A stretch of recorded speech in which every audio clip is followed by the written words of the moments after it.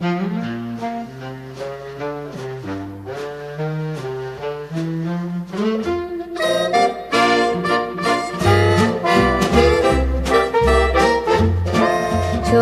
aus nah und fern nutzen den originalen Rundgang gern.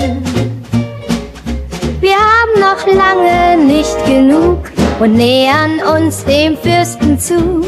Sachsens Fürsten, sieh mal an, gebannt auf Meißner Porzellan. Wir nehmen den Zug auseinander und haben viel zu lachen miteinander.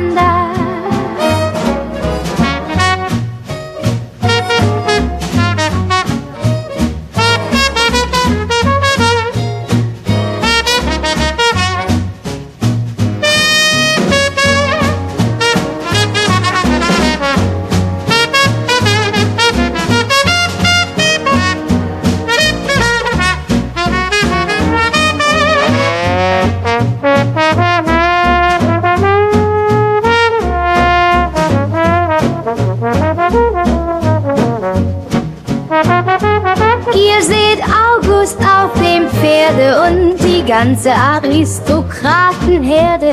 Das sind im Besonderen alles Männer, die erkläre ich, denn ich bin ein Kenner. Friedrich der Gebissene, ein toller Hecht. Oder der entartete Albrecht. Nun kommt schon der Stallhof dran. Ich zeige auch Turnier